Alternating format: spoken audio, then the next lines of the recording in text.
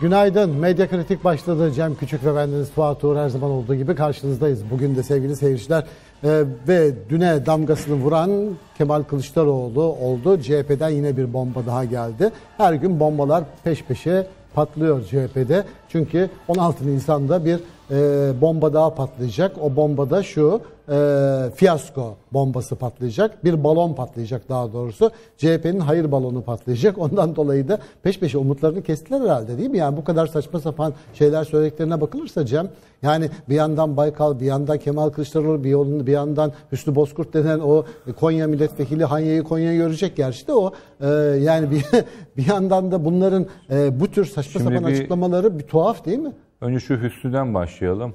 Kemal Sunal'ın bir Hüsnü diye filmi vardı biliyor musun? Cesur kendini şey zannediyordu. Hatırlamadım nasıldı o? Hani böyle mafya babası diye onu Şevket Altuğ gaza getiriyordu onu. Sen de diyordu dediği böyle sert mafya babası yüzü var filan. Böyle yüzünden kork bir bak. Ya, hakikaten ya diyordu Kemal Sunal benim yüzümden korkulur. Bu Hüsnü de öyle. Evet. Yani.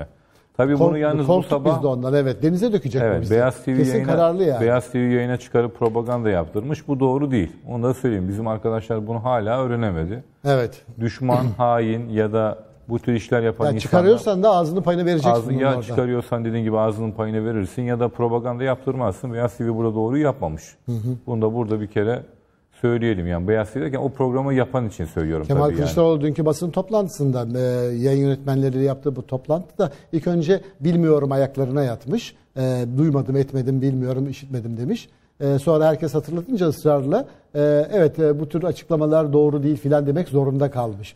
O bile zorunda kalmış. Şimdi sen bunu çıkarıp da bu adamın zevzekliklerini paylaşmaya Evet, gerek yok. aynen yani e, yaptığı tek şey açıklamalarını o rezalet, kepazeliği tevil etmekten başka bir Aynen. şey değil. Yani ya bunu ekrana çıkarıyorsan dediğin gibi anlayacağı dilden ağzının payını verirsin ama propaganda yaptırmazsın. O programı yapan arkadaşlar için söylüyorum pek şık bir hareket olmamış. Şeye gelince 15 e, Temmuz'da Sözünü kesiyorum özür dilerim. E, sevgili seyirciler Cem Küçük'le Evet. TGRT'deyiz. Hashtagimiz bugün bu. Cem Küçük'le TGRT'deyiz. Katkılarınızı ve yorumlarınızı bekliyoruz. Çok önemli konular var bugün. E, bu ekranda görmek istiyoruz. Lütfen parmakları çalıştıralım her zaman olduğu gibi. Ve ekran başından ayrılmadan Twitter üzerinde Twitter üzerinden e, mesajlarınızı, yorumlarınızı ve katkılarınızı bekliyoruz. Evet Cem sözünü kesmiş Şimdi oldum. hani o dolayısıyla dün kontrollü darbe diye yani aslında kolay kolay hazmedilemeyecek laflar söylüyor Kılıçdaroğlu ve bu lafların nereye gittiğini bilmiyor. Bak bir a yeni bir şey dönmeye başladı birkaç gündür. Bunu Fethullahçılar yapıyor. Fethullahçılar gene organize oldular yurt dışında. Evet. Bir sürü internet sitesi kurmuşlar. Redaktif.com, ABC bilmem ne bir sürü ıvır zıvır site kurmuşlar. Yani ben en az onu 7-8 tanesini gördüm. Dün bir tarama yaptım. Bir dünya şey çık- çıkarmışlar, bulmuşlar. Evet. Şimdi bu Kılıçdaroğlu'na ona buna da aslında 15 Temmuz'u biz yapmadık. Hani o bizim bazı sözlerimizi de alıp çarpıtıyorlar. Biz diyoruz ki bu işin ana omurgasını Fethullahçılar yaptı. Mesela %75, 80, 85 bunlar ama içinde yancılar, kendini Atatürkçü Kemal isteyen küçük bir güruh da vardı gibi ekleme yapıyoruz. Onlar bakın gördünüz mü bu darbeyi biz yapmadık. Atatürkçüler yaptı. İşte Cem de böyle söylüyor, Fuat da böyle söylüyor diyorlar. Peşinden de bir de böyle 15 Temmuz kurguydu, senaryoydu. Yani Erdoğan yaptırdı deyip dışarıda algı yapıyorlar. Kılıçdaroğlu'na bunu yedirmişler. Belli. Kılıçdaroğlu ve 180-200 AK Partili milletvekilinde bakan da 120-180 diyor. Kardeşim elinde bir liste var besbelli. Birisi şimdi bak, tutuşturmuş bugün eline. gazetelerde- O mail olarak sana FETÖ'den geldiği belli. 120 mi 180 mi? Doğrusu okuyup Evet. karar ver. Bir de- Kimse ondan açıkla. Bugün senden önce yayında da konuşurken diyorduk. Bu kadar FETÖ'cü madem efendim açıklamayacağım diyor. Ya şimdi şimdi sen bir adama diyorsun ki yani benzetmeye şey değil ya sen eşcinselsin. Valla senin için eşcinsel diyorlar. İzah et. Ve üstelik de şu şurada gördüler seni Seni filan. bu görmüşler. Kardeşim Açıkla bunu. Değil, açıkla bunu. Eşcinsel misin değil, değil misin misin? diye. Açıkla. Ha, Evet. Böyle denir mi? Denmez tabii. Çünkü bu bunu iddiayı iddia eden kişi ispatlar. Yani bir takım insanların siyasi muarızları e, bir takım insanlar için seni Almanya'da filanca bilmem nerelerde kötü yerlerde görmüşler. Açıkla bunu demediler bile. Şimdi burada- demediler. Senin evet. siyasi rakiplerin bunu sana söylemedi. Üstelik de fotoğraflarının olduğuna dair bir sürü görüntülere dair bir sürü belge olduğu Şimdi halde. ben yani bir insana diyorsun ki sen böyle böyledir diyorsun. Ondan sonra da ispat et. O söylüyor ki AK Parti açıklasın diyor. Ya be adam sen insanların aklıyla zekası dalga mı geçiyorsun? Eğer sen bir adamda 120-180 tane FETÖ'cü, baylokçu varsa bu terörist demektir. Yani AK Parti'de sen 180 tane terörist var demek istiyorsun. Buna bence bir tazminat davası açması lazım. Hemen açmışlar. AK Parti açmış Açmış. İyi yapmışlar. Mehmet Bir şey- Elitaş açıkladı bunu. Hemen AK Parti bir dava Mustafa açmış. Elitaş mı? Mu- Mustafa Elitaş. Mustafa özür Elitaş. özür dilerim. Burada bir şey daha var. Şimdi kardeşim buna bir CHP'li ya da yani CHP'de aklı başına adam kalmadığı belli de ya demiyor mu açıkla AK Parti'yi bitirirsin bir bak. Bizim gibilerin desteğini alırsın, halkın desteğini alırsın. En önemlisi hayırı garantilersin. Niye açıklamıyorsun?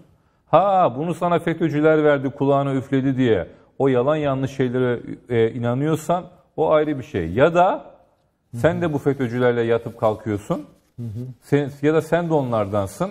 Bu yalanları söylüyorsun. Yani ben var bu adam 180 bak 180 vekil bakan diyor bak. Vekil Evet. bakan. Lan böyle bu kadar adam varsa bu hükümeti yıksınlar. Seninle beraber gelip beraber hükümet kursunlar. Evet. Çok doğru. Yani 180 kişi ise 130 da sensin 310 kişi. Bunlar otururlar beraber parti kurarsınız. Şey yeni bir hükümet kurarsınız. İstediğinizi yaparsınız. Niye yapmıyorsunuz? E, o kadar yalan söylüyor ki yani o, o kadar çok soru var ki Kılıçdaroğlu'nu böyle boşa çıkaracaksın.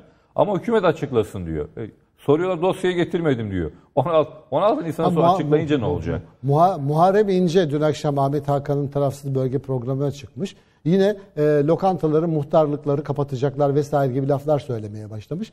Ahmet Hakan da nereye dayandırıyorsunuz bunu? Yani belgelerini gösterin de görelim demiş. Muharrem İnce yazılı metinleri getirmedim demiş. Şimdi zaten çok uzun süre anlatmaya kalksak demiş. Anlatsak da kimse anlamaz demiş. Ki anlatsak da kimse anlamaz demiş. Boş ver görüntüsünü. Ya, Benim o babam- sevgisiz adamın görüntüsüne ne gerek var? Benim babam bina okur, döner döner bir daha okur.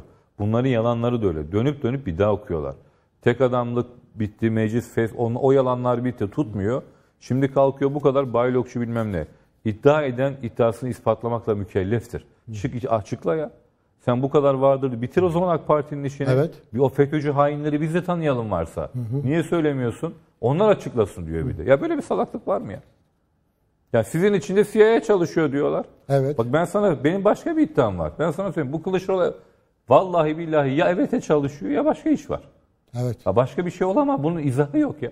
ya evete bir puan daha verdin. dün. Evet. Bak o kadar ne? Evete bir puan daha verdin ya. Açıklayacaksın ya. Açıkla AK Parti'nin işini bitir. Niye bitirmiyorsun?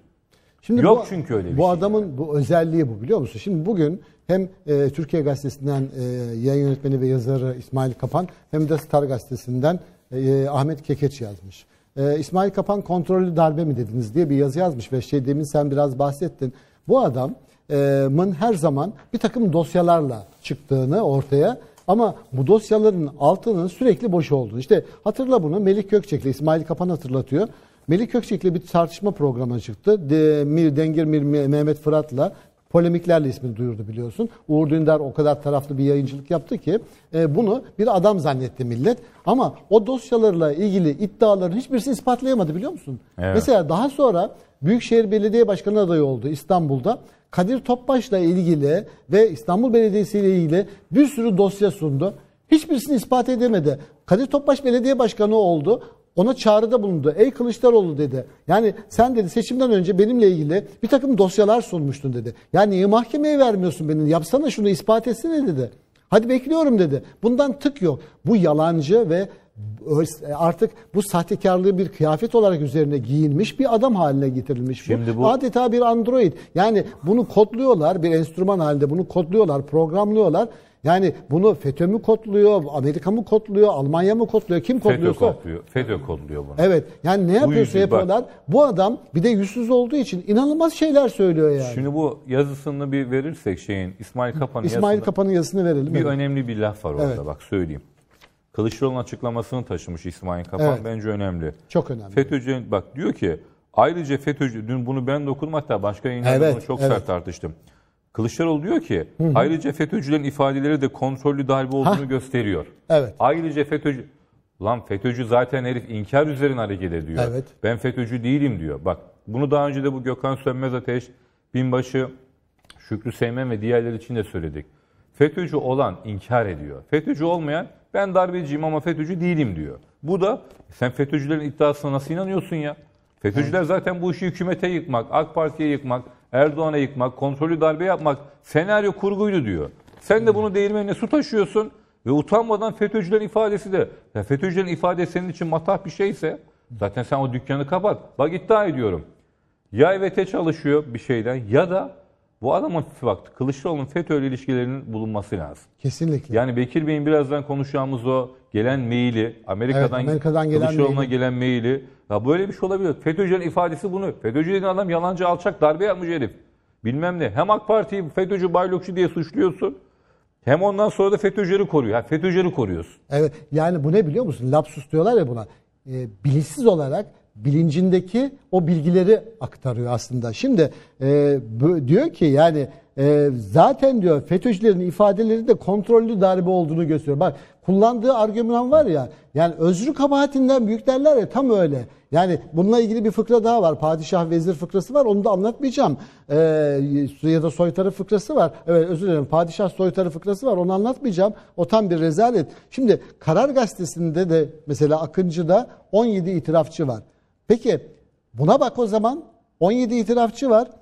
Avrupa Avrupa'nın darbe girişimiyle FETÖ bağlantısı net değil iddiasına karşı diyor. En somut kanıt kalkışmanın yönetildiği Akıncı üstünden çıktı. 15 Temmuz'da onlarca kişiyi şehit eden 44 katilden 17'si itirafçı oldu. Evet. İhaneti tek tek anlattı. Gülen'in talimatıyla kodizm kullandık. Maaşımızın %15'ini immet verdik. Buyur Kılıçdaroğlu. Hadi bakalım ne diyorsun? Şimdi bak iki şeyin altını çizelim. Buradaki o itiraf meselesi çok önemli. Bir, Kılıç, AK Parti'de FETÖ'cü, baylokçu var diyor, tutuklansın diyor. Bunu Amerika aslında öyle bir şey olmadığını biliyor. İkincisi de FETÖ'cülerin iddiaları da bunu ortaya koyuyor diyor. Ya demek ki bu bilgiyi sana FETÖ'cüler verdi. Evet. Başka bir bir şey akla gelmiyor insanın. Yani Hiçbir şey gelmiyor Onu yanıltıyor bak. Onu yönlendiriyorlar şey. Demek ki sen onların kontrolündesin. Oyuncak bu FETÖ'nün elinde Ha, oyuncak. bu oyuncaksın. Bu akla başka. Ya FETÖ'cülerin itirafları da bunu gösteriyor. Ne demek ya? Evet. FETÖ'cülerin dediğin gibi Yazıklar bir, sürü- olsun. bir sürü kişi itirafçı oldu. Askerlerden itirafçı olan, darbecilerden itirafçı olan Levent Türkkan var bir kere Hulusi Akar'ın yaveri. Evet. Ali Yazıcı, diğerleri bir sürü kişi var ya suçunu itiraf ettiler. Kabul ediyorlar, söylüyorlar ya- yararlanın diye. Buna rağmen kalkıp bunu söylüyor yani.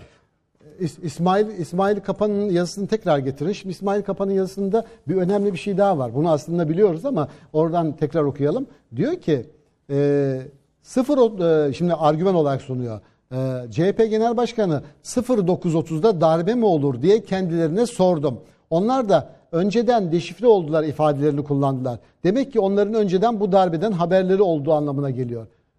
Yani bu mantıkla Aristo yatağında fıldır fıldır dönebilir. Evet. Yani yattığı yerde fıldır fıldır Şimdi bak dönebilir. ne demiş? Böyle bir şey olabilir mi? Yani şimdi adamların neden darbeyi 0930'a çektikleri saat saat dakika dakika somut olaylarla açıklanıyor. Yani aptal değilsen bunu okursun Ya anlarsın. o zaman Adem Huduti, Akın Öztürk, İlhan Talu gibi FETÖ'cü olmayan kor generalleri, orgenerallere sor. Niye o saatte darbe? Yani bir Hayır, insanın gerizekalı olması lazım bunu anlamaması için. Haberin yayınladığı görüntüler vardı. Yakapaça Kara Kuvvetleri Komutanı'nı, Genelkurmay 2. Başkanı yakapaça indiriyorlar, kelepçeliyorlar bilmem neydi. Onu şey yapacaksın. Bak 15 Temmuz gecesi dikkatli izliyoruz demiş.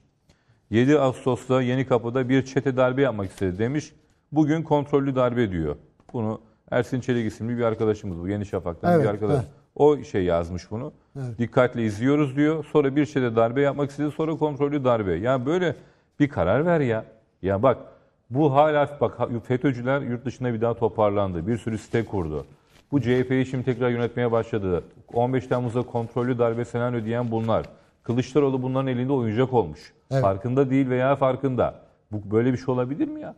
Ya 15 Temmuz'da kontrollü darbe diyen adam bak ben söyleyeyim. 15 Temmuz'da kontrollü darbe, hain, ya e, kurgu, senaryo diyen adam, adam herkes haindir. Evet. Böyle bir şey yok kardeşim. Evet, Bu kesinlikle- budur. kesinlikle böyle. 250 şeyi de 2000 ya ispat edeceksin o zaman. Böyle bu saate darbenin bir saati mi olur ya?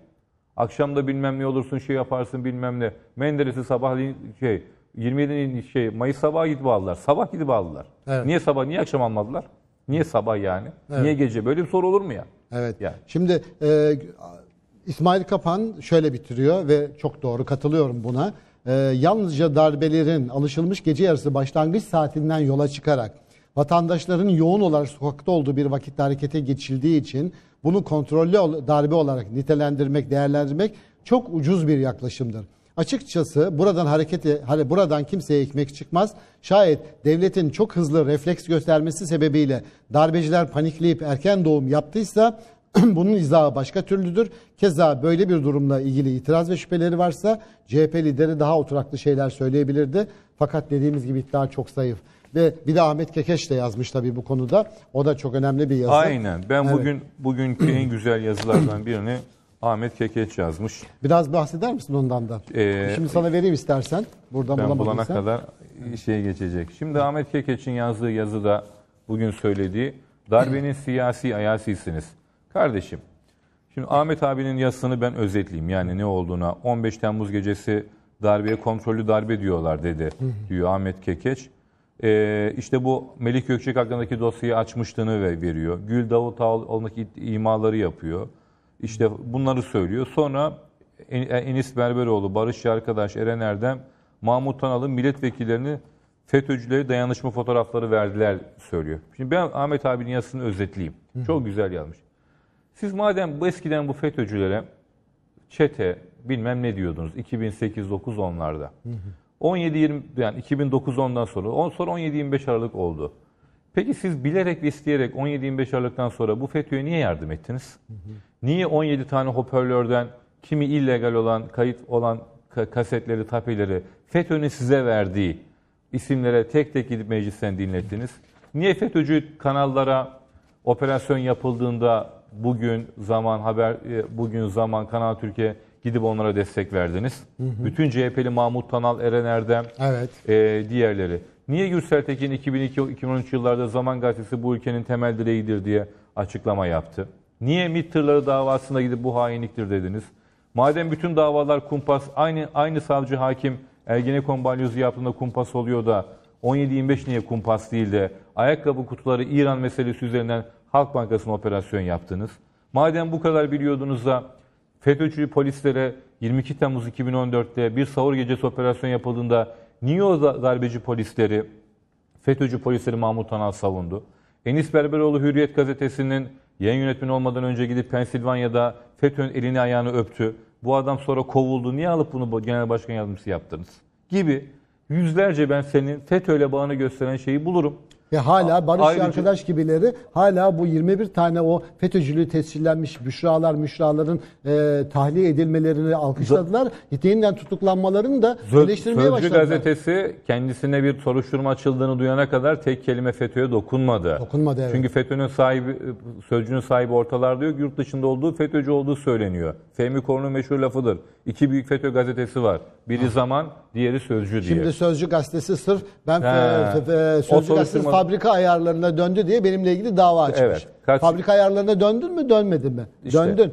Şimdi şey yapıyor. Ben daha Cumhuriyet Gazetesi zaten FETÖ'cüler çıkarıyor. Akın Atalay'ı bu dört tane savcının, Muammer Akkaşlar'ın diğer e, bütün FETÖ'cü Zekeriya Özler'in PR'ını bir hafta boyunca yaptınız.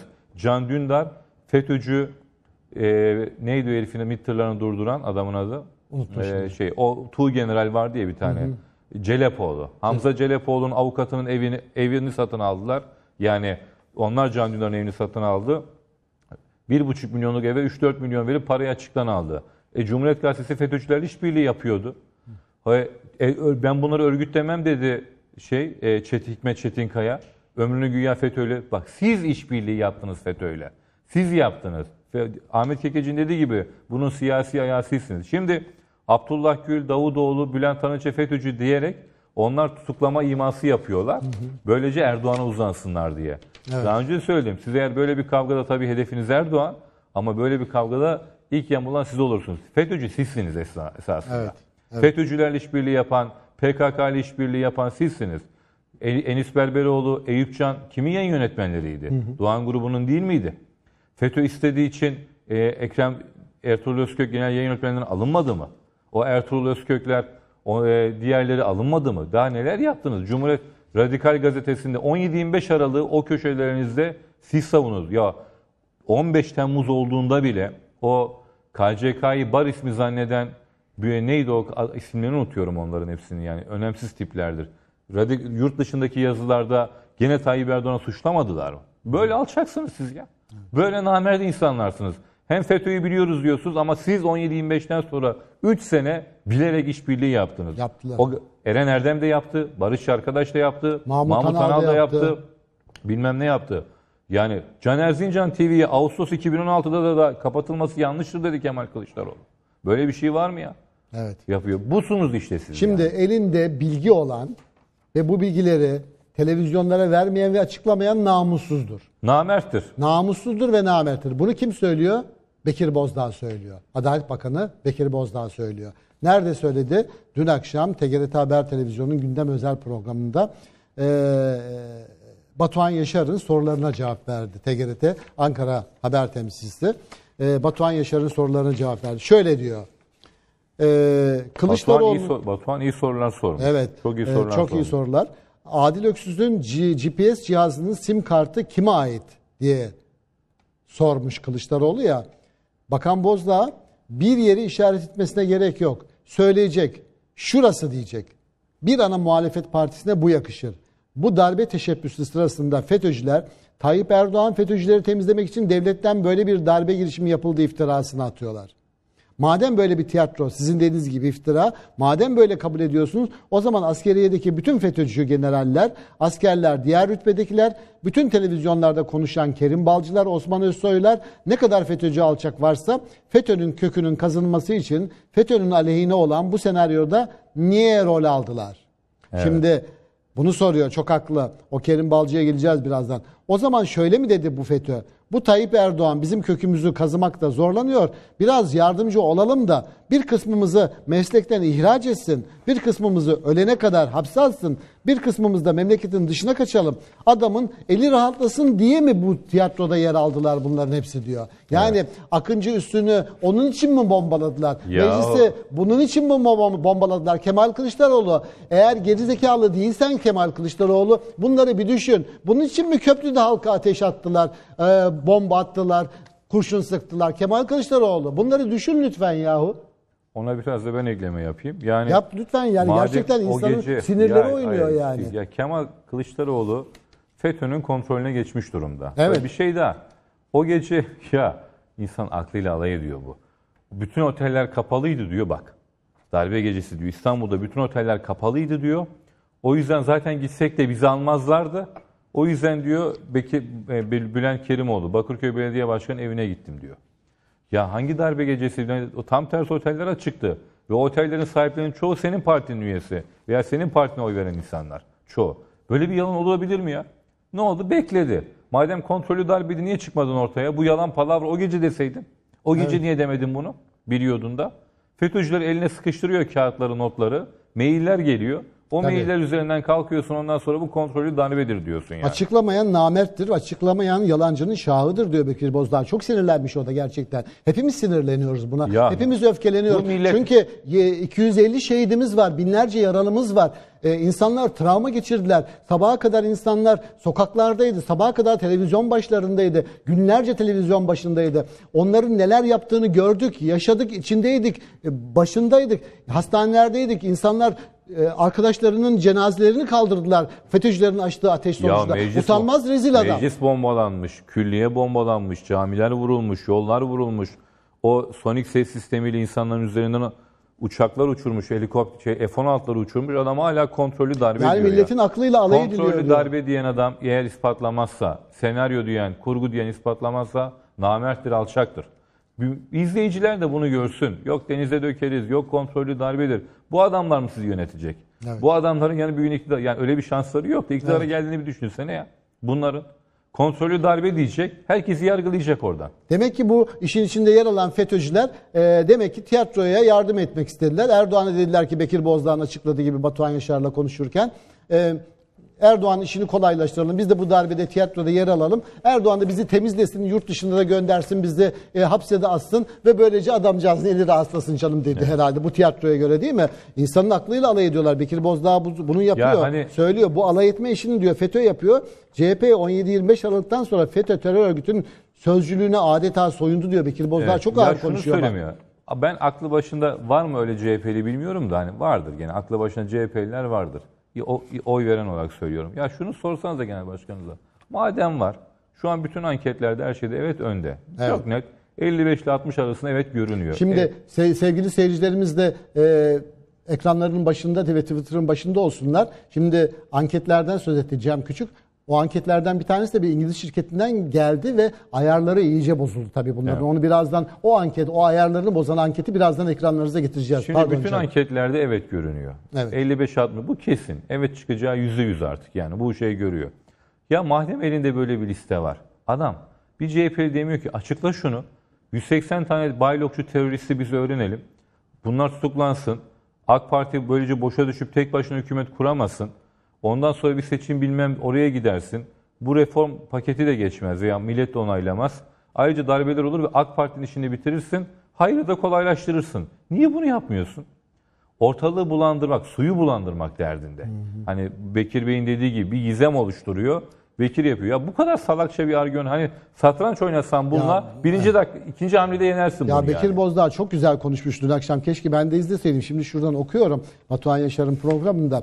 Bütün milletin gözünün içine baka baka bunları sayıp yok sayıp yalan söylüyor diyor. Hep beraber yaşadık. Bütün bunlara baktığımızda görüyoruz ki 15 Temmuz 2016 darbe teşebbüsünün bir tiyatro olduğuna ilişkin FETÖ iftirasının Türkiye'deki taşeronluğuna CHP soyunmuştur. O zaman CHP sürekli AK Parti ile ilgili başbakanımızın, bizlerin, başkalarının FETÖ ile ilgili geçmişte söylediklerini alıp alıp getiriyor.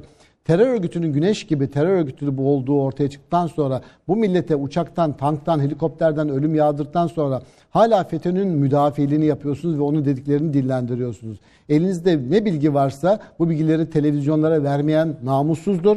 Türk milletinin gözüne baka baka yalan söylemeyin. Bu bilgileri meydanla bu bilgileri Cumhuriyet savcılarına verin. Televizyonlarda açıklayın, meydanlarda açıklayın ifadelerini kullandı. Ee, Bekir Bozdağ. Şimdi lekeyi sürüp geri çekiliyor bunlar tamam mı? Çamura atıyor. Bırakalım izi kalsın diyor. Yani nasıl lokantaların muhtarlıkları kapatacak diyor. Uyduruyor. Bu uyduruk lafın nasıl olsa bir yerlerde etki yaratacağını düşünüyor. Aynı şeyi burada daha ileri, daha vahim, daha alçakça yapıyorlar. Yani bunları yapmaktan imtina etmeyen bir ahlak Evet, iflası bir iz- var. Bir izleyicimiz yazmış. Kontrollü darbe diyor. Baykal'ın kasetle indirilip Kılıçdaroğlu'nun partiye genel başkan olması Çok güzel, diyor. bravo, Kontrollü Sivaslı bravo. diye bir hesap yazmış. Bravo. Kontrollü darbe bu yani aslında dediği gibi şey bu. Ya Çok bu doğru. bak şunu bu bunu bu muhalefet bu günlerde çok yapıyor. Hayır cephesi de çok yapıyor. Bak şu FETÖ argümanlarından vazgeçin. 17-25 bilmem bütün kumpaslar yani içerik olarak söylüyoruz muhteva olarak usul esasa mukaddem olduğu için bu davalar kumpası. FETÖ'nün verdiği argümanları kullanıyorsunuz. Sizi FETÖ yönlendiriyor. Bu argümanları ortaya atan FETÖ'cüler. Ondan sonra da inandırıyor sizi bir, bir kontrollü darbe bilmem ne. Kendilerini kurtarmak için her yalanı uyduruyorlar. Bu FETÖ'cülerde kriminal zeka o kadar yüksek ki bak CHP'yi ne hale getiriyor. Bu aynen daha önce benzetmiştim. Bir kasaba düşün bak. Seni vuran biri seni ondan sonra seni biri vuruyor ayağından. Sonra bu olayı bir savcıyla polis araş polis savcı araştırıyor. Sonra da biri sana çiçek getiriyor. Üzüldük. Bunların hepsi FETÖ'cü. Seni ayağından vuran da FETÖ'cü. Olayı FETÖ'cü. araştıran polis savcı da FETÖ'cü. Sonra sana çiçek getirip ya çok bu olay yüzü. Bunların hepsi şebeke örgüt. FETÖ bu. Şu an Kılıçdaroğlu yaptı bu da. Efendim ayakkabı kutuları diyorlar, başka şeyler söylüyorlar, bilmem nedir diyorlar. Bak Halkbank olayında bile getirip bir şey. Bunlar hep FETÖ argümanları. CHP şu an FETÖ argümanlarını kullanıyor. Elinde oynayacaksınız bunların. Kendi argümanlarınızı bulun ya. Hala çünkü kendileri ar- argüman bulamadığı için çalışmadıkları hiç. Dilemiyor muydu şey? Adam bak Gürsel Tekin. Ben Amerika'ya diyor FETÖ'yü almaya gittiğim yalanını söylüyor. Sen FETÖ'nün kapısının içinden bırak. Herhangi bir Amerikalı yetkiliyle konuşacak gideceğim bile yok. Ama o yalanı söylüyor. Peşinden de FETÖ'cülerin yaptığı Halkbank operasyonunda ondan sonra onu destekliyor. Ben dört bakana bilet alacağım diyor. İşte bu FETÖ oyununa gelmektir. Gidip gidip Amerika'ya FETÖ'yü alacağım diyor. Sen kimi? FETÖ senin elinde oynatıyor. FETÖ'nün oyuncağı olmuşsunuz. Haberiniz yok yani. Ondan sonra da FETÖ'yle mücadele ediyoruz. Var mı böyle Şimdi bir şey? Zafer Çağlayan'ın neden Amerika'nın hedefi haline geldiğine dair e, bugünkü yazımda da var benim. E, Halkbank e, ile ilgili ABD'nin suçlamaları ve e, FETÖ'cü murakıplar başlıklı yazımda da var. Şimdi Daniel Glazer denilen adamı gönderiyorlar Evet. ve bankacıları tehdit ediyorlar Türkiye'de 2010 yılında bu İran'la ticareti, petrol ve gaz ticaretini yapmayın diye. Yani petrol ve gaz ticareti yapmak kara para e, aklamaktır a- anlamında senatodan aldıkları yaptırımı e, dile dillendiriyorlar. Türkiye'de Zafer Çağlayan da diyor ki bankacılara bak Amerika'yı çok kızdırıyor ve hedefe alınmasındaki önemli etkenlerden bir tanesi o. Bankacılar diyor biraz cesaretli olun diyor. Bizi diyor Birleşmiş Milletler kararı bağlar diyor. Amerika'nın senatosunda aldığı karar bağlamaz diyor. Onun ulusal çıkarlarıyla benim ulusal çıkarlarımın uyuşması e, zorunlu değil diyor. Onun ulusal çıkarları. Ne zamandır diyor doğalgaz ve petrol ticareti kara para aklama işi oluyor diyor. Evet. Yani bunu söylüyor ve o zaman hedefe konuluyor. Peki Ha, Halk dur. Bankı hedef haline FETÖ niye getirdi? Zafer Çağlayan'ı mesela bakanlar niye getirdi? Aslında bütün bunlara kafa yorduğun zaman bunları görebilmek Peki sana mümkün başka oluyor. bir şey daha söyleyeyim. Şimdi biz bu darbe girişiminin içerisinde ana omurga FETÖ'cü ama başka unsurlar da kendisine Kemalist Atatürkçü diyen küçük bir grup da var dedik değil mi sürekli? Şimdi balyozcular, Ergenekoncular asla bunu kabul etmiyor, itiraz ediyor. Biz diyor o gece çatıştık filan. Şimdi ben bu balyoz ve Ergenekon'dan mağdur olan, askeri casusluktan mağdur olan askerlere söylüyorum, hitap ediyorum. Siz böyle diyorsunuz. 15 Temmuz FETÖ yaptı bilmem nedir.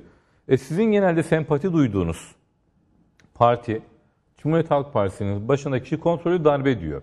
Yani bunu FETÖ'cülerle hükümet yaptı diyor. O zaman sizin iddianız da boşa düşüyor. Ey Ergenekon'dan ve Balyoz'dan Evet, evet. mağdur olan askerler. Hayır Ahmet diye hayır diye geziyorlar ya bunlar. Evet hayır diye geziyorsun bilmem Evet. nedir diyorsun. Ne diyorlar bakalım soralım onları gerçekten. Evet. diye. Siz bak Kılıçdaroğlu bu işi hükümetin yaptığını söylüyor. Evet. Kontrollü darbedir diyor. FETÖ'cüler yapmadı diyor. Siz ne diyorsunuz o zaman bu balyoz mağdurları, Ergenekon mağdurları, askeri casusluk mağdurları? Buradan Dursun Çiçek'e seslenelim. İlhan Ciyener'e seslenelim. Ne diğer o askerlere seslenelim. Valla bu konuda namuslu duruşu olan Nedim Şener zaten. Bu soytarılığı zaten Bir deşifre de etti Ahmet Zeki zaten. Üçok. Bir de Kontrol darbedir diyen hani ya böyle bir şey var mı ya? Adam ya o biz sabaha kadar çatıştık diyor mesela balyozcular, bazı askerler. Biz diyorlar sabaha kadar çatıştık diyor. Ve onların sempati duyduğu Cumhuriyet Halk Partisi gidiyor bunu 15 Temmuz size hakaret ediyor. E o zaman hani bak ben bir kısım Kemalist ulusalcı işin içine deyince yok öyle FETÖ'cüler yaptı diyorsunuz diyor. E ben bunu Cumhuriyet Halk Partisi üyeler söylüyor. E genel başkanımız öyle demiyor. Evet. Buna fik itirazınız yok mu? Evet. Buna bir şey söyleyin. Çok güzel bir noktayı yakaladın. Hayır işte öyle, yani bunu soruyorum ben onlara. Yani sen hem diyeceksin ki 15 Temmuz'u FETÖ yaptı. Atatürkçü Kemalist hiç yoktu diyeceksin. Evet. E ona genel başkanı da bunu hükümet yaptı. FETÖ'cüler yoktu diyor. Ona bir itirazın yok mu? FETÖ'cüler zaten diyor itiraflarını biz yapmadık diyorlar Hiç. diyor. Ha, onu delil gösteriyor. Delil gösteriyor. Yani Fe- inanılır gibi değil ya. Ben dehşete Fe- düşüyorum gerçekten. Bir de bir tane FETÖ'cülerin itirafını okum, okumamıştır da ya bu partinin genel başkan yardımcılarından biri ya da o Atatürkçü. Ama ben şimdi şöyle şey yapıyorum. Taşlar yerine oturuyor. Adana'da FETÖ'cü gazetecilerin adını okuyan bu değil miydi? 15 Temmuz darbesine destek veren bak o yüzden işte darbe kontrollü darbe diyor ya. E, o FETÖ'cülerin ismini Adana'da okuyordu. Korudu onları. Evet. Bir tane Bolu milletvekili vardı. Tanju bilmem ne itiraz Evet, etti bunlara. Dursun Çiçekler biraz itiraz etmişlerdi. Ne oldu? E İşte bu yani. Kemalist deyince o darbede itiraz yok. Yoktu Kemalist diyorsun. Ama genel başkan öyle söylüyor. Evet. Şimdi Adil Öksüz'de de bu arada Cem Küçük'le TGRT'deyiz hashtag ile bekliyoruz e, katkılarınızı ve yorumlarınızı sevgili seyirciler. E, şimdi Adil Öksüz'le ilgili e, bir mail gelmiş. Şimdi Bekir Evet. Bozdağ diyor ki Adil Öksüz'ün MİT ajanı olduğuna ilişkin iftiraları dile getiren bir mail geliyor diyor. Bu mail Kılıçdaroğlu'nun nereden geldi diye soruyor Sayın Bozdağ. Sayın Kılıçdaroğlu size Adil Öksüz ile ilgili adresi de söylüyorum. Amerika'dan bir mail geldi mi? Gelmedi mi? Partisinden bir vekile bir mail geldi mi? Gelmedi mi? Peki siz gelen bu mail ile ilgili ne yaptınız? Bu açıklamaları bu mail üzerine mi yaptınız? Bu maili gönderenleri tanıyor musunuz? Tanımıyorsunuz. Ara- aranızdaki bağ, irtibat nedir? Bunu bir açıklarsanız Türkiye kamuoyu bunu sizden çok rahat bir şekilde öğrenmiş olur. Bak Sayın Kılıçdaroğlu değil mi? Evet. Size çok somut belgeyle sesleniyor. Elinde belgenin olduğunu sen açıklamasan ben açıklayacağım diyor Bekir Bozdağ. Çok rahat bir şekilde soluyor, söylüyor. Çünkü mailin adresini veriyor sana. İşte bu adresten sana bir mail geldi mi gelmedi mi diye soruyor. Partisinden bir vekile bir mail Evet. geldi mi gelmedi Evet. mi diyor. Şimdi o mail ABD'den geldi. Kimden geldi? FETÖ'den geldi. İşte Kemal Kılıçdaroğlu FETÖ'nün elinde bir enstrüman, bir oyuncak. Bu en en hafif, en minimum, minimum bir değerlendirme Kemal Kılıçdaroğlu hakkındaki. FETÖ'nün elinde bir oyuncak diyorum ya enstrüman. Bu minimum, en hafif değerlendirmem Kemal Kılıçdaroğlu ile ilgili. Ötesini seyircilerimiz FETÖ'nün canlandırsınlar. oyuncu nasıl böyle avına şeyine böyle şey yapıyorlar.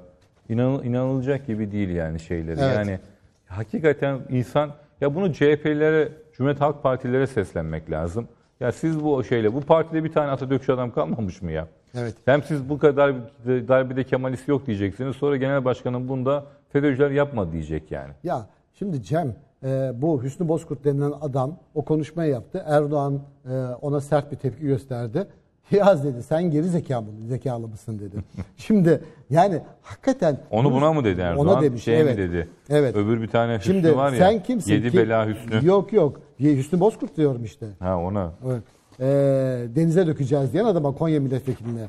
Ee, sen kimsin? Kimi denize döküyorsun? Terbiyesiz. Samsun'dan yola çıkamazsın. 16 Nisan'da evet çıkarsa denize dökeceğiz diyor.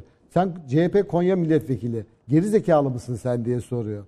Ee, Kılıçdaroğlu'na da sende zerre kadar dürüstlük varsa, elinde belgeler varsa bunları açıkla. 16 Nisan'dan sonra çok geç kalırsın diyor. Bu da çok güzel bir laf şeyler var ya bu Hüsnü bu Kemal Sunal'ın filmi vardı ya, Yedi Bela, Yedi Bela Demin Hüsnü demin ya aklına bunu, geldi ya.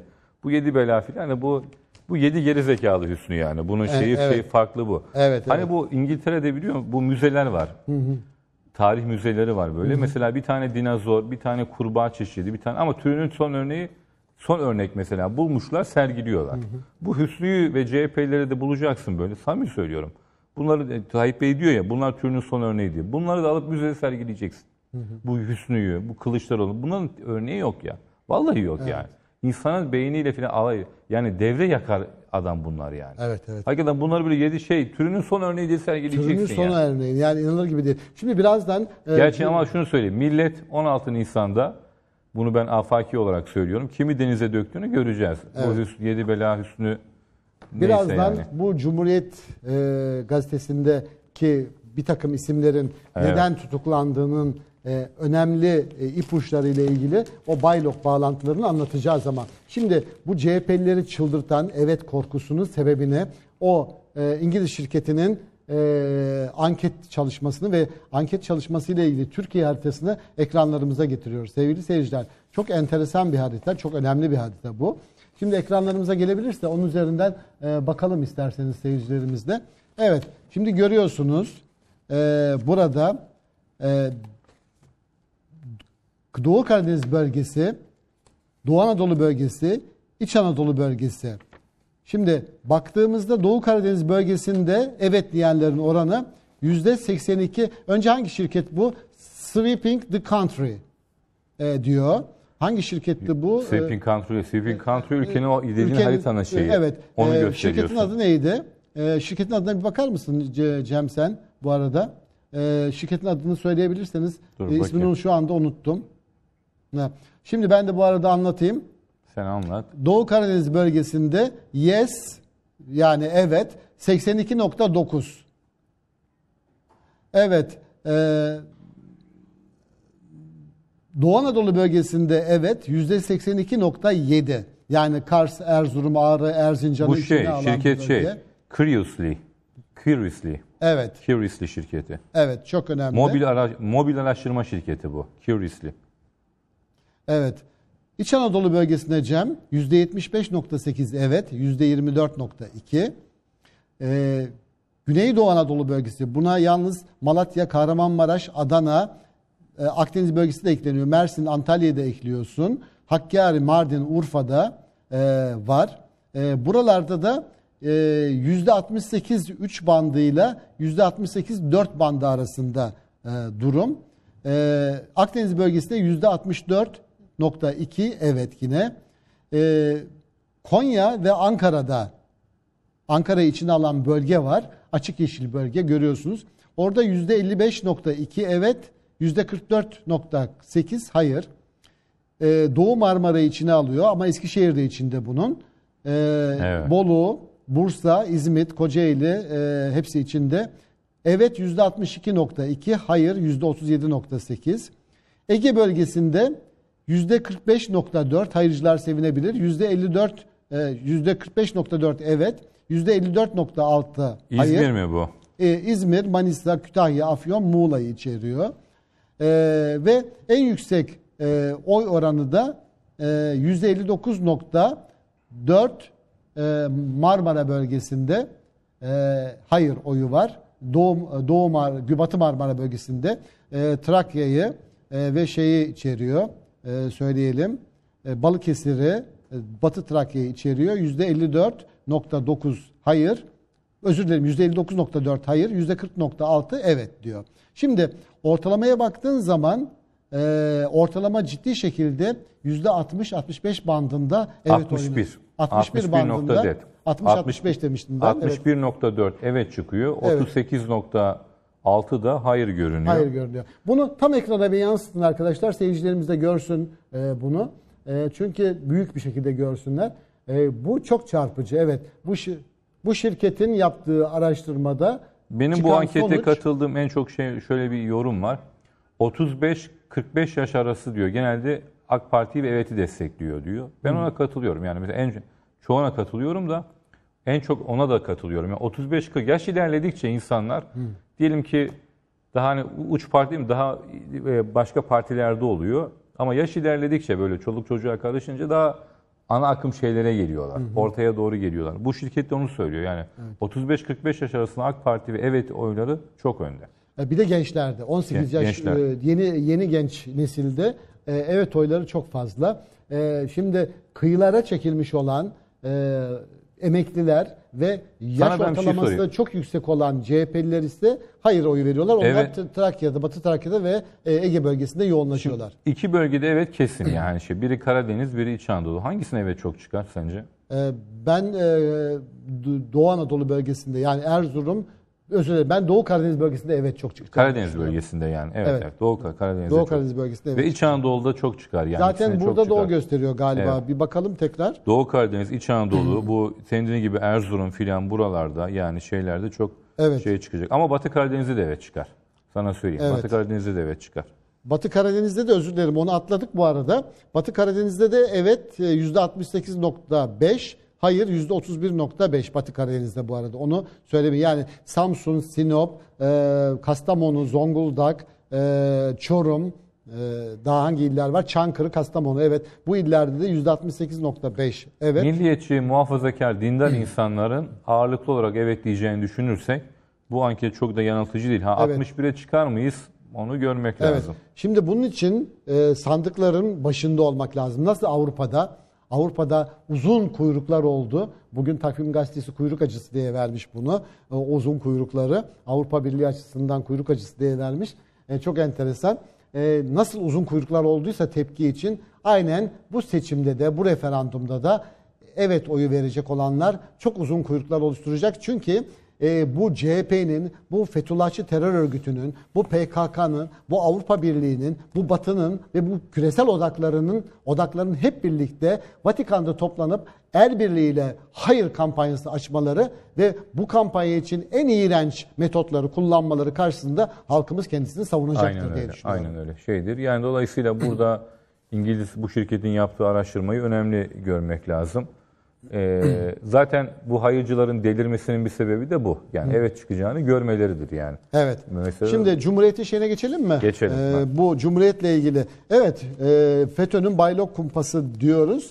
E, Cumhuriyet'le ilgili iletişim bombası. Çok ilginç şeyler Evet. var Cem. E, sen buluncaya kadar ben biraz şey yapayım. Onu e, aktarayım sana. Buldun mu? Ha.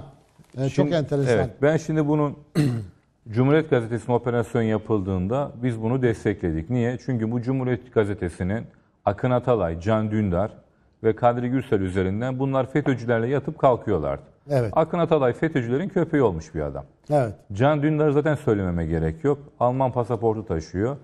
Adı işte Hans olarak değişti. Bilmem Hans mı yazıyordu bilmem ne. Böyle tam bir vatan haini örneğidir şeyin yaptığı, Can Dündar'ın yaptığı. Can Dündar'ın Hamza Celepoğlu'nun avukatının evini evini sattı ona. Üç katı fiyatla açık. Bu bir sürü ilişki var. Muammer Akkaşlar, Celal Karalar bir hafta boyunca Cumhuriyet Gazetesi'nde aklandı. Ahmet Şık Cumhuriyet'te çalışırken FETÖ'cü polislerin kendisine verdiği bizim Suriye'deki faaliyetlerimizi sanki diğer şey yardım ediyormuşuz gibi tapeler yayınladılar gibi yüzlerce işleri var. Ha bu Cumhuriyet operasyon yapıldığında bu üç isim dışında Ahmet Şık PKK'dan alındı onu söyleyelim. Ahmet Şık PKK'lı onu söyleyelim yani çok net bir şekilde. Ama Can Dündar, Akın Atalay ve Kadri Gürsel dışındaki diğer tutuklamalara biz burada itiraz ettik zaten. Turan Günaylara, Musa Kartlar'ınki yanlış dedik. Ama şimdi bugün bak, şimdi bazıları bizim Bazı arkadaşlar da Kadri Gürsel'i masum filan zannediyor. Ya Ma Kadri Gürsel bunların en alçağı. İs- İsrail'den aldığı paraları mı sayarsın? Söyleyelim mi? Bilmem ne sayarsın. Kadri Gürsel'in Kaç kişiyle 92 baylok kullanıcısıyla görüştüğü 21 ve de 21'i de FETÖ soruşturması geçiren kişi. Yok. Bunlar arasında. 92'si Baylo kullanan FETÖ'cü, 21'i de PYD FETÖ'den ayrıca ayrı bir suçlu. Ayrıca FETÖ'cü onlar. Toplam 113 kişiyle. Evet 113. Toplam 113 kişiyle iletişim trafiği HTS kayıtları var. Ya bu herif Türk devleti DH'a yardım ediyor diyen alçak buydu ya. Kadri Gürsel'di. İsrail'den paralar aldığı bilmem ne yaptı sürekli olarak bir devletin raporlarında orada burada her yerde vardı. Bu Kadri Gürsel'i nasıl savunursun ya? Bunu o Yozgat Kusu da çok savunuyor. Bizim de bazı olayı hiç bilmeyen saftirik arkadaşlar da var. Yani Kadri Gürsel, Akın Atalay, Can Dündar. Bu üçü alçak. Zaten Evet. FETÖ'cülerle iş tutan bunlar. Ayrıca Hikmet Çetinkaya ömrünü FETÖ'yle mücadeleye atmış. Ben bunları örgüt görüyorum demedi mi? Erkan Şimdi- Tufan Ata bir toplantıda biz bu dedi bu Hikmet Çetinkaya'yı helva gibi yaptık dedi. İstediği kıvama getirdi yani. Burada başkaları da var. Evet medya kritik devam ediyor. Alparslan Türkeş'in mezarı başında e, Devlet Bahçeli MHP Allah rahmet eylesin bu arada Allah tekrar. rahmet yani eylesin Türkeş'in tekrar. 20. yılı. Evet. 97, 2007, 2017 Allah rahmet eylesin. Onu da buradan almış olalım böylece. Evet. Şimdi Kadri Gürsel'in demiştik demin Cem. 92 baylok kullanıcısı şüpheli şahıs ile haklarında FETÖ soruşturması bulunan ayrıca FETÖ soruşturması bulunan 21 kişiyle iletişim kaydı var. Yani 113 kişiyle. 110 evet, o var. O, Orhan Erinç'in Halit Esendir denilen benim tanıdığım en alçak FETÖ'cülerden biridir Halit Esendir. Yurt dışlarında gezerdi bilmem ne. Ümraniye'de sorumlulukları vardı. Onunla temasları var. Akın Atalay'ın 5 balyo kullanıcısı ve FETÖ PDY'den soruşturma açılan 6 kişiyle bağı var. Murat Sabuncu'nun Evet Can Dündar'ı geçelim. O zaten geçelim. hainin önde Murat gideni. Sabuncu'nun 13 Murat baylo Sabuncu'nun kullanıcısı. 13 baylo kullanıcısıyla var. Ve ayrıca 10 kişiyle iletişim kaydı var. Onu bırak e, şimdi Muammer Akkaş'la teması var e, bir sürü o cumhuriyet çalışanların. Ayrıca Hüseyin Avni Mutlu'nun da bir sürü kişiyle teması çıkmış. E bunlar ne? Bir insanın 113 tane FETÖ'cüyle telefon trafiği olur mu ya? Ahmet Kemal Aydoğdu hangisiydi Cem? Bu kitap ekilse başındaki kişi. Olay, yok o Turhan Günay'dı. Evet. Ahmet Kemal Aydoğdu başkentçi Rumuzlu Twitter kullanıcısı ve FETÖ tutuklusu Ömer Şahin'le irtibatlı ama ayrıca 52 baylokçu ve FETÖ'den soruşturulan 40 kişiyle kaydı var. Ya bu nedir Cem? Evet. Ben bunu anlamıyorum. Şimdi mesela hepimiz gazeteciyiz. Gazetecilerin e, hayatı boyunca bir sürü insanla telefon Teması. trafiği ola- olabilir. Ama Cumhuriyet gibi bir gazetenin eskiden solcu olduğunu söyleyen, CHP'li Atatürkçü olduğunu olduğunu söyleyen, söyleyen Atatürkçü insan. olduğunu söyleyen insanların bu kadar FETÖ'cüyle üstelik de e, azılı FETÖ'cüyle baylok kullanan ve e, hakkında soruşturma olan FETÖ'cülerle bu iletişim trafiğinin mahkemede bunu belirtmiş zaten hayatın olağan akışına aykırı Aynen diyor. aykırı. Yani bunlarla ne için bir arada bulunduğunu Ro- anlatmaları lazım. Roma hukukunda geçer. Hayatın olağan akışına aykırı lafı Roma hukukunda vardır. Biliyorsun Roma hukuku Justinian İstanbul'da yazılmıştır yani. Evet. Birinci Justinian zamanında. Bunu şimdi izah et yani. Sen bu kadar fe- ve 17-25 Aralık olmuş darbe öncesi 2014-15'lerde bu kadar çok FETÖ'cüyle senin ne temasın vardı? Bunu izah et ya. Ya Harun, Açıkla To- bunu yani. Harun Tokak kim mesela? Harun Tokak Gazeteciler Yazarlar Vakfı eski başkanı. Ha, şimdi ben Aydın Engün, e, FETÖ İstişare Heyeti üye- üyesi Harun Tokak'la irtibatlıymış. Yani şimdi bunu hani olağan karşılayabiliriz. Gazeteciler aramıştır adam, o da onu aramıştır. Bir de e, işte diyelim ki Abant konferansına, ne der Abant toplantıları vardı ya bunların. E, onlara davet Abant edilmiştir. ve- platformu. Platformu Ama şu- filan falan. Mesela diyelim ki. Ama Ömrünü- 13 baylok kullanıcısıyla nasıl bir irtibatın olur? Ya da bütün ömrünü FETÖ'ye adadığını söyleyen eee, nedir o herifin adı? Hikmet Çetinkaya'nın FETÖ örgüt değildir demesine ne diyeceksin? FETÖ'ye övgüler düzmesine ne diyeceksin darbelerden önce? Erkam Tufan Atav'ın Gazeteciler Yazarlar Vakfı Başkan Yardımcısının onu helva gibi yaptık demesine ne diyeceksin? Evet. Cumhuriyet Gazetesi FETÖ'nün köpeğidir. Evet. Bu kadar net. FETÖ'nün emrindedir.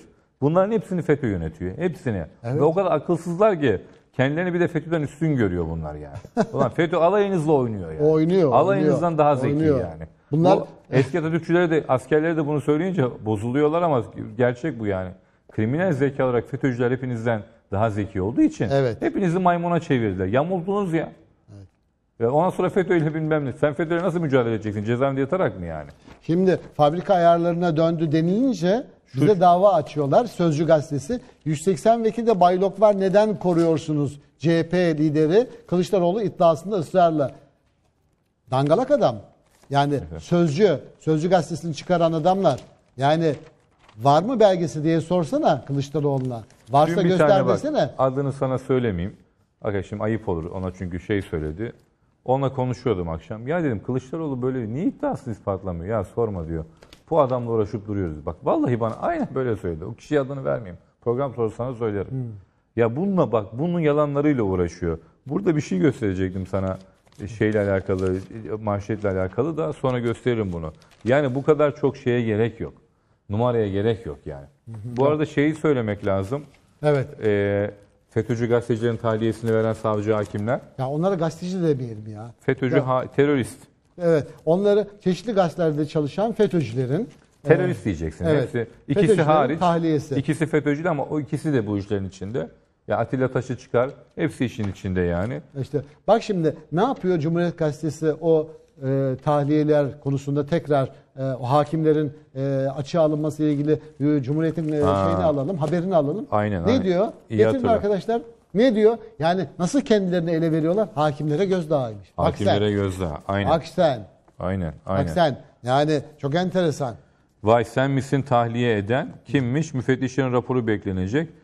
25. Ağır Ceza Mahkemesi Başkanı İbrahim Lolastağı ve iki üye hakim ile duruşma savcısı Göksel Turan'ı açığa aldı. Kardeşim sen Hanım Büşra Erdal'ı, Cezmi Kalyoncu'yu, Cuma Ulus'u bilmem şeyi açığa yani tahliye etmek istersen FETÖ'cü teröristi ikisi hariç 19'u FETÖ'cü. Ki Murat Aksoy da işin içinde. O da darbeyi bilip ima ediyordu. Bir tek Atilla Taş, Atilla Taş zavallısı belki o çıkabilirdi. O da zavallının teki. E, zavallının teki gerçekten Aynen öyle. Onu yani. pop. Çünkü onu içeri tutmak bile ona bir şey prim. Bunu ama sen Hanım Büşra Erdal'ı ve bu 19 FETÖ'cüyü dışarıya çıkarmaya niyetliysen ben o hakime savcıdan şüphe ederim. HSK'nın aldığı karar son derece yorumludur. Çünkü Çok. Cumhuriyet Gazetesi'nin FETÖ'nün köpeği olduğu, FETÖ'nün elinde oyuncak olduğu değili budur. Hala bak onları koruyor. Evet. Yani ona- bu hanım Büşra Erdal bize bu kadar kötülük yaptı demiyor ya. Demiyor. Ya hanım Büşra Erdal bunların canını okudu. Evet. Ya FETÖ ablası binlerce haber yaptı. Bu nedir demiyor ya. Sorsan e biz gazeteci, demiyorlar. tarafsız, basın alma özgürlüğü falan diyor yani. Evet, Sakın FETÖ'nün. FETÖ'nün oyuncağı olmasın. Maaşlarınızı FETÖ veriyor be. Evet. e, şimdi reklama mı 10 dakika var yoksa ha 10 dakika daha gidebiliyoruz değil mi? Tamam Şunu oldu o zaman. Şey Güzel. yapsaydık yani Ha, şunu. onu yapacağız ama şunu verelim. Tamam. O çok önemli çünkü. Bu da yani verdiğin şey çok önemli.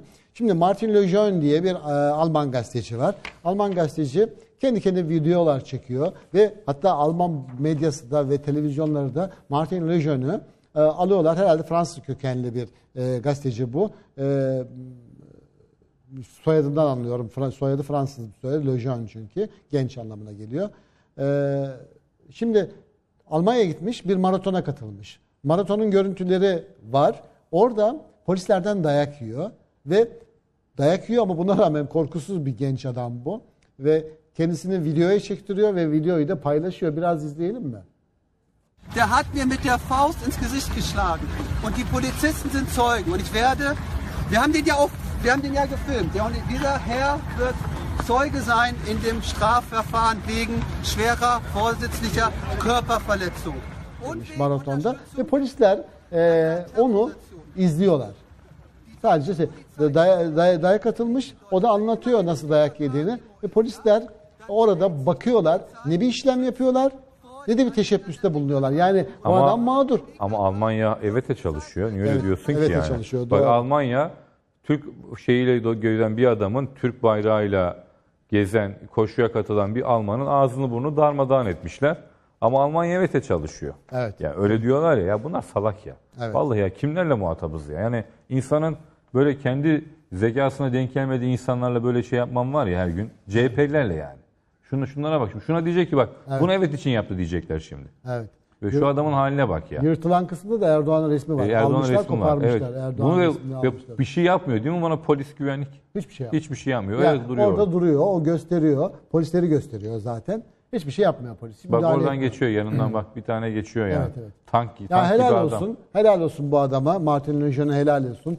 Adamsın diyorum. Yani ne diyeyim Evet, ki ben ona. aynen. Şimdi e, şu YGS'yi getirelim. Daha sonra bir e, Cem Küçük'le TGRT Haber'de, TGRT'deyiz. Cem Küçük'le TGRT'deyiz hashtag ile yorumlarınızı, desteklerinizi ve katkılarınızı bekliyoruz.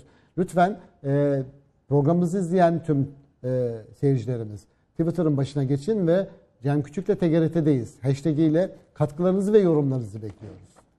Bekliyoruz. Çok e, faydalanıyoruz. Şu anda ekranda okuyoruz. Ekranda okuyan tüm seyircilerimiz de faydalanıyor. Siz de yorumlarınızı en azından TGRT ekranlarından, TGRT haber ekranlarından tüm seyircilerimizle paylaşmış oluyorsunuz. Bunu da söyleyelim. E, bir video daha var. E, video diyorum Tamam. özür dilerim. Bir haber daha var. Çok bana çok enteresan geldi. Konuyla alakalı değil ama şu YGS mağduru genç kıza geçeceğiz. Tamam. E, çünkü YGS'nin de ciddi bir problem var. YGS'de onu dile getirmemiz lazım. Macaristan'da e, Erpatak Belediye Gördüm. Başkanı Oros gördün değil mi? Ne enteresan değil mi? Evet, evet. Şimdi 2014'te de 2014 yılında Gazze saldırılarına, İsrail'in Gazze saldırılarına protesto etmek amacıyla bir eylem düzenlemiş ve hakkında da halkı kim ve düşmanlığa tahrik ettiği gerekçesiyle bir dava açılmış. Şu işe bakar mısın? Yani İsrail'in Gazze saldırılarını protesto ediyor, bir eylem düzenliyor ve bundan dolayı hakkında halkı kim ve düşmanlığa sevkten bir dava açılıyor. Şimdi bunu yapan- Şehir mahkemesinde görülen davada Oros ne yapıyor? Bu Erpatak Belediye Başkanı değil mi? Zoltan Mihaili Oros. Oroş diye okunuyor. Oroş diyor. Halkı kim ve düşmanlığa yani Gazze saldırılarını protesto etmek amacıyla bir gösteri şey yapıyor. Eylem düzenliyor. O da mahkemede şöyle demiş. Şimdi Cumhurbaşkanı olan Türkiye Cumhuriyeti Devleti'nin Cumhurbaşkanı Erdoğan'ın o dönem haksızlığa gösterdiği tıpkı benimkinden daha sert. Ona da dava açabilecek misiniz? Dünyadaki diğer liderler de Erdoğan kadar tepki gösterebilse İsrail bu kadar pervasızca masum insanları öldüremez. Videosunu Ve izlettirmiş. videosunu, one minute videosunu gösteriyor. Altyazılı olarak one minute Var. videosunu o göstermiş. video yok değil mi ama bize? o Bizde video yok bizde evet yok. o Olmaz. video şu an yani söz ama e, artık artık e, Oroş şey, yani bu Oroş biliyoruz şeyde zaten hafızalarımızda kazanmış durumda. Evet, Oroş orada Erdoğan'la şey yapıyor. Dediği gibi Erdoğan kadar 3-4 kişi daha tepki gösterseydi Evet. İsrail bu kadar pervasız olmazdı yani. Yani çok enteresan E, ve e, bu e, Erdoğan'a olan e, ilgi e, bir Polonyalı akapella topluluğunda da var. Onu reklam dönüşünde sizinle paylaşacağız. Bir Polonyalı çoğunluğu kızlardan oluşan bir akapella topluluğu var. Erdoğan'la ilgili şarkıları müthiş söylüyorlar. Yani görmelere değer. Hakikaten bunu paylaşacağız birazdan sizlerle ama önce şu YGS mağdurlarını konuşalım. Evet. Onlardan bir tanesi son derece çarpıcı. Şimdi bu yüksek öğretim güç geçiş sınavında nefes açıcı tüp kullanıyor. Bu nefes açıcı şey, Astım. astım hastaları. Astım. Benim annem çok kullanıyordu onu. Hala Evet. kullanıyor. Böyle içine hap atardım. Böyle o tabii biraz daha gelişti. Bayağı şey oldu. Betülbaş isimli kızımız yani bu şeyle nefes açıcı tüple girdiği için sınavı geçersiz sayıldı ilan edilmiş. Ya bu kızcağız orada 3 saat falan sürüyor sınav. Onun yanında olması lazım. Ee, bu ve bu kızcağız yıkılmış. Bunun hakkının geri verilmesi lazım. Yani bu Betül Baş denilen kızımıza bu hakkının bir daha iade edilmesi lazım. Yoksa böyle bir nasıl iptal edersin ya sınavını geçer sayarsın yani. O şey yani tüp yani o. Acil bir ilacın bilmem neyin varsa yanında getirmek zorundasın yani. Hani kalp pili taşıyorsun değil mi mesela? E, Pili sökleniyor mu yani? Ya da yanında hap alıyorsun. Getirmek zorundasın. Su oluyor. Onun gibi hap gibi düşüneceksin onu yani. Ve şey gibi. Ben bunu dolayısıyla bu o travma... Önce, önce tutanak düzenlemişler, şey yapmışlar, e, kabul etmişler. Sınava girmiş genç kız, Betül e, kızımız. Sonra da sınavdan çıktıktan sonra bir yazı geliyor. Evet, Ve yazıyla öğreniyor. yazıyla öğreniyor ki sınavı geçersin. Yani yuh yani. Evet. Bunu özellikle mi yapıyorlar acaba? Olabilir. Yani halkın bu, bu tür olaylarla tepki göstermesi ve referandumda bir tepki ortaya koyması için mi bunu yapıyorlar acaba? Çok merak Evet, ediyorum. Bunu yüksek öğretimde yani YÖK'e bunu söylemek lazım ve YÖK bence burada yani e, mutlaka ilgilenip bu kızı hakkını iade etmesi lazım. Bir de şey söyleyeyim bak ben biz onlar biz de yaşadık. Bu üniversite sınavına giriş insanların bir varoluş şeyine get- getiriyorlar. Ya bu çok kötü bir şey. Ya bu gençlere ben buradan sesleneyim. Şimdi üniversite okumak iyi bir şey. Herkes okusa keşke. Bazen okunmuyor. Ama okumayınca da dünyanın sonu olmuyor. Şimdi bu sınavı kötü geçen, bilmem ne yapıp hayatı yıkılanlar ben görüyorum ya Peki çevremde, şey akrabalarda söyleyeyim mi? intihar etmek isteyen oluyor. Ha, sakın şimdi- ha. Sakın yani böyle şeyler yapmayın çok yani. doğru ama şimdi çocukların da hayatlarını saçma sapan kararlarla e, yok etmenin de bir manası yok. Şimdi Balıkesir'de olmuş bu sınava bir dakika geç kalmış kız çocuğu. Ve intihar etmiş. Ne yazık ki hayatını kaybetmiş. Ben anne babaları söyleyeyim. Yani şimdi bir dakika geç kalmış ya. Yani pes doğrusu ya. Yapmayın bunu ya. Bir inisiyatif kullanın yahu. Bir de saat 10'daki e, sınavı yani 9.45'i alıyorsun birdenbire. Niye alıyorsun? Hangi gerekçeyle alıyorsun? Neden alıyorsun? Efendim hazırlık süreci varmış. E 10 de 10-15 geçe başlat hazırlık sürecine. Tamam mı? Evet. Yani 10-15 geçe başlat. Yani e, niçin yıllardır saat 10'da yapılan sınavı 9 Ben bunları kötü niyetli, ahlaksızca ve gerçekten bir amaca hizmet ederek yapıldığını 9.45 diye düşünüyorum. sınav saatim olur. Şimdi 10 yap, Evet. 10.30 yap, Hep 11 yap. yıllardır 10 Aynen bileceğim ve ben bunun gerçekten ahlaksızca ve kötü niyetli yapıldığına inanıyorum. Ben yani ama- bunun arkasında emin ol başka bir şey yoksa ben ne olayım? Evet. Ama ben Hakikaten bu- söylüyorum Aynen öyle. Bu kıza yani bu Betül Baş'a bu kızımıza hakkı iade edilmesi lazım. Önce kabul edilmiş o tüp açıcı, nefes açıcı tüpler hastalar kullanır bunu. Astım hastalarında, Evet. bronşit, bronşit hastalarında çok olur kullanırlar. Bir şey daha ben bu üniversite yani hayatının varoluş meselesi değil bu üniversite. Ya bu kız 18 çocuğunu yaşında- konuşurken gördün mü röportajda? Evet, gördüm, Cem? izledim, Yani evet. insanın içi parçaları yuh yani. Yani bu kararı verip bu yazıyı gönderenlere yuh olsun Aynen diyorum öyle. ben. Başka da bir şey Ya söylemiyorum. anne babalar da çocuklara bu üniversiteyi kazanamadım diye baskı yapmasın. Bilmem bazen ol- olur öyle şeyler. Hayatın varoluş meselesi değil ya bu sınavlar. Evet. Ya ben şimdi kendi- Doğru ama yani kendi- sonuç itibariyle e, çocuklar onu bir varoluş meselesi, meselesi haline getirmiş oluyor. Yani bu çocukların hayatlarını ya bak, karartmaya gerek yok. son bir yıl, iki yıl çocuk şimdi 16 yaşına geliyor. Lise 2, 2 yıl. Yemiyor, içmiyor, uykusuz, sınava Evet. git, kursa git, özel hocaya git, sabahtan akşama test çöz, bilmem ne yap, şey Kızım yap. diyor Betül'ün babası kızım diyor geceleri kalkıp diyor ders çalışırdı. Evet. Ders çalışır diyor. Benim kızım sınavları böyle hazırlandı diyor. Şimdi gelen sonuca bakıyorsun birdenbire kullandığı astım ilacı ile ilgili olarak küçük bir ilaçla. Ne yapmış kardeşim? Onun içine telsiz mi koymuş? Ya Zırvalamayın zaten yani. Öyle bir şey de yok. Ama bu kıza bu kızımıza hak iade edilmesi lazım. Bu sınavlar önemli ama kazanamadım, geç kaldım. Telafisi olur. Başka türlü de telafisi olur. Yani Evet. onu da düşünmek. Bu şey değil ya ben ke- kendimden de biliyorum. Yani varoluş şeyi gibi e, kazanamazsak yok öyle bir şey yani. Yok tabii kuşkusuz da yani sonuç itibariyle e, insanlar kendi içinde e, yaşıyor bunu. Hayır hayır çocuk ama bak intihar bilmem psikolojisi bozuluyor ya. Tabii. Ya ben şu sınav yüzünden psikolojisi kendi dönemimde bile bir sürü kişinin psikolojisi bozulduğunu Hepimizin 3-4 yıla bir şey. toplayamadılar sonra kendini Tabii, ya. tabii, Böyle bir tabii. şey var mı ya? Bir reklam aramız var hemen geleceğiz.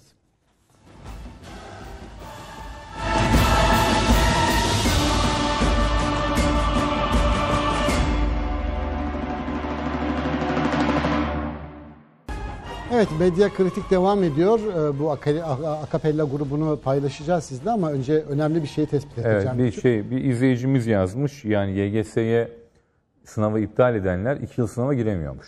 Evet bir de böyle bir rezalet var değil mi? Yani şimdi bu kız çocuğunun yaşadığı travmayı düşünmek yani 2020'de fi- 19'da filan girecek yani bu kız. Yani Düşün. olacak şey mi bu ya? Evet, Bunun ki. derhal düzeltilmesi lazım. Evet, derhal evet. düzeltilmesi lazım. Bu mağduriyetlerin giderilmesi lazım. E, bilemiyorum nasıl giderilirse.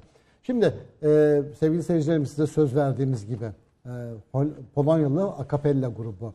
E, röportajlar da var. Çok uzun bir e, video bu aslında Cem. E, atlayarak da gidebiliriz belki röportajlara da gelebiliriz. Çünkü tercüme de edilebiliyor. Önce Erdoğan şarkıları hemen dinleyelim vakit geçmesin. Çünkü biraz görüntüler kötü. Ben de Facebook'tan aldım. Kusura bakmasın seyircilerimiz. Ama çok enteresan. Yani akapella de grubu dediğimiz nedir? Ee, yani enstrüman yok, çalgı aleti yok.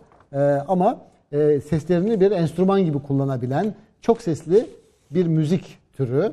E, akapella grupları ve Erdoğan şarkılarını bakın nasıl söylüyorlar. Enzilenlerin kursesidir o Suskun dünyanın kursesidir o Göründüğü gibi olan gücünü milletten alan Recep Tayyip Erdoğan Göründüğü gibi olan gücünü milletten alan Recep Tayyip Erdoğan. Recep Tayyip Erdoğan.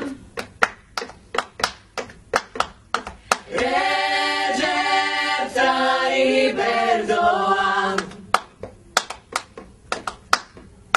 Hakkın adamı, hakkın aşığı. O milyonların umudu ışığı Mazlumlara Sirdaş olan gariplere yoldaş olan Recep Tayyip Erdoğan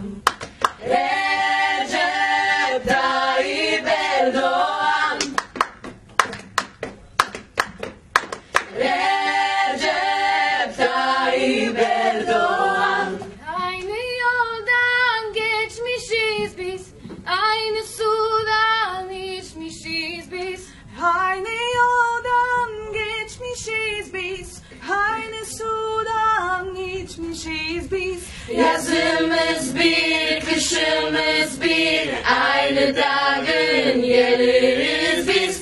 Yazımız bir, kışımız bir, aynı dağın yeriz biz.